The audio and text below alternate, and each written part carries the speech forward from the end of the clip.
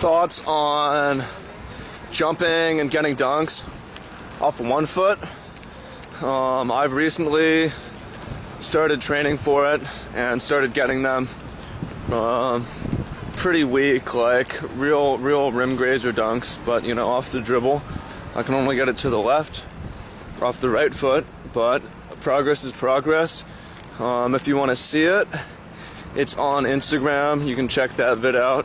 Um, Travis D. Woo over there.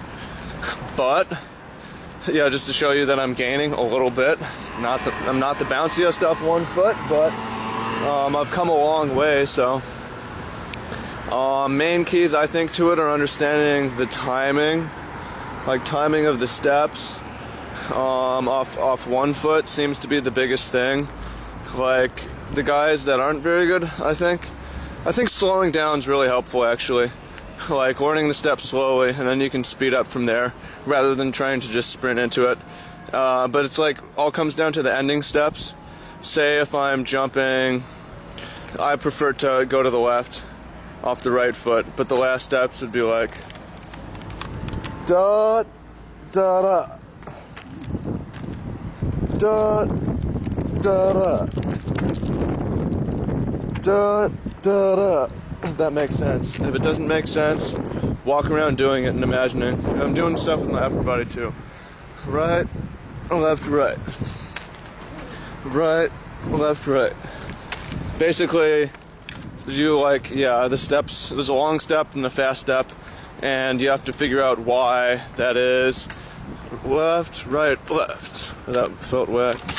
Left, right, left. Yeah, to go to the right.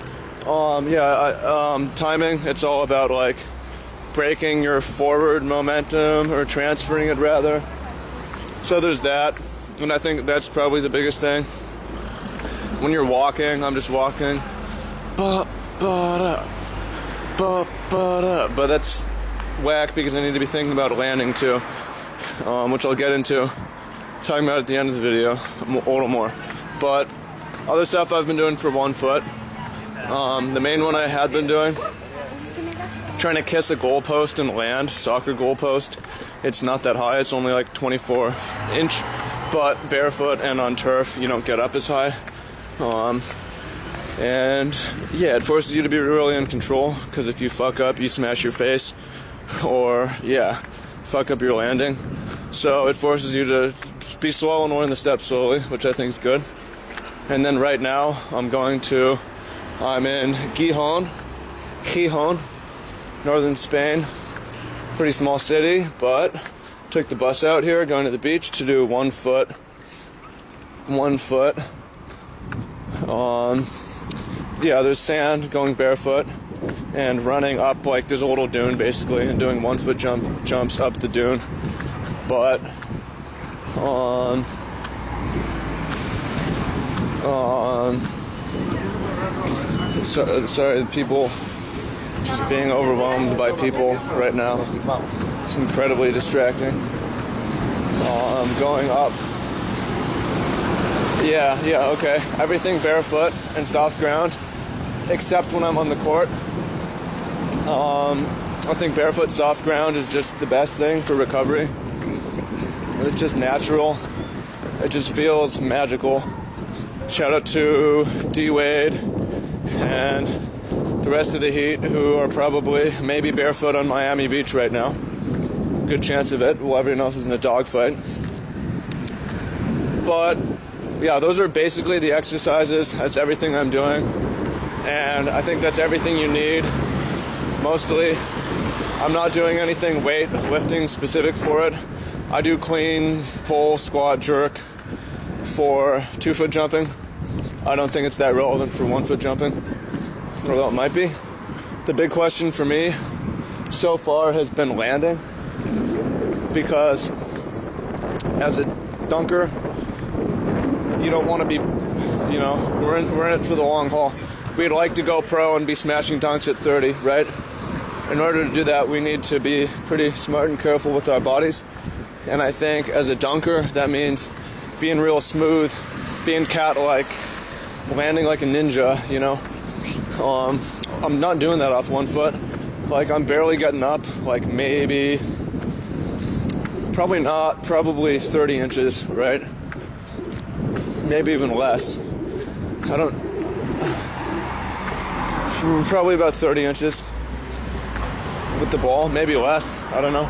I'm not getting up that high, but it's been it's been hurting me. The landings have been hurting me because I'm coming down off one foot. There's no way to like bail out or like I don't know. Because the thing about the thing about two foot jumps compared to one foot jumps in terms of like mm, two foot jumps you can travel you travel less you have less capacity to travel distance horizontally to cover distance. Um, like one foot jumps you're going to jump farther pretty much. That's why you see people do one foot from the free throw line. It's obvious. Um, but that makes it harder to like land in a squat because off two foot you can just kind of sit down potentially or get to the rim. Um, you don't have as much forward momentum. One foot you have tons of forward momentum and maybe the same vertical momentum, but you can't like you can't spell it into a slide or you can't it's hard it's harder to it's harder to hang off one foot for sure because you're you're zooming generally past the rim. So i'm not really sure what the best way to land is if you're coming down coming down fast like running. I don't know. I think that i maybe just have a preference for t- two foot jumping. It seems like maybe it's easier on your body but then like you have Kadour Ziani, who's just throws all that into question. Maybe I don't know. It's not that. Hmm. I don't know. Anyways, here's the beach. I guess it's about to end the video, but I'm just getting to the beach right now, so I'll show you guys what it's looking like. Um. Yeah. Yeah. But yeah, yeah, okay, okay, okay, okay. So this is looking north of Spain. Pretty warm out. April. It's probably just under 70, I'd say. But the sun's out, so it feels feels nice. You got barefoot humans, people living natural lives. Spanish are pretty healthy. Massive sand beach, great for training brought my football, what us Americans call soccer ball. Um, just gonna work on footwork, gonna run up the dunes. Um, gonna have, just like you can see, yeah, I'm gonna um, have a little picnic, um, chill out, and um, enjoy the sunshine. So peace out. Thanks for watching. Let me know what y'all think. Hope this helps you get up higher off one foot and maybe do it for a really long time without getting injured by landing safely.